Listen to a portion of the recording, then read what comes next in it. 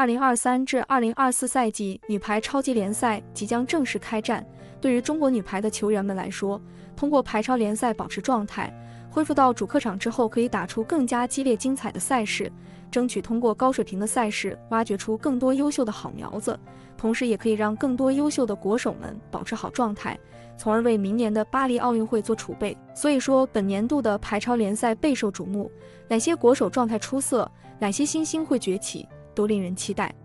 而谈到排超联赛，其实大家最失望的一点就是联赛两极分化严重，缺乏高水平球队之间的强强对话，联赛中强弱分明，差距太大。所以说，国手扎堆的情况下，导致有的球队实力太强，大部分球队实力太弱。强队一方的国手们在一起，可以轻松拿下冠军，争冠之路上也不会受到太大的阻力。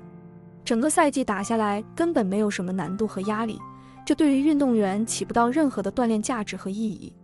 一直以来，天津女排和江苏女排都是排超联赛的传统强队，但是除了这两支球队之外，很难再找到其他实力特别出色的球队。所以说，想要改变这个现状，最直接的方式就要杜绝国手的扎堆，一定要让这些国手不在同一支球队效力。如果某一支球队囤积大量国手的话，不仅不利于国手保持状态，反倒是把国手们的状态放凉了，更不利于整个联赛的发展。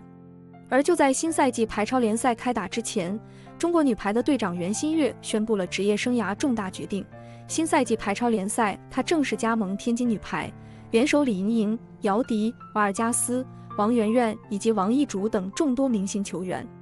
这样一来，新赛季天津女排在联赛中又是一家独大。新赛季排超联赛冠军的归属甚至已经被提前盖棺定论了。我们的联赛也缺乏了更高水平的激烈对抗，强弱分明的比赛之下，天津女排国手们也不可能保持好状态，直接影响到了中国女排未来的整体状态。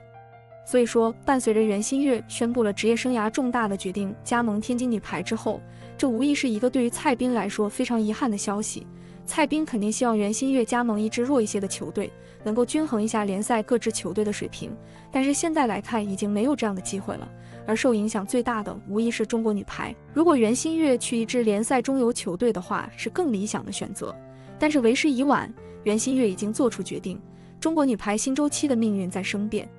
我们只能期盼着，在海外联赛的朱婷和丁霞能够在未来给国家队带来更多帮助吧。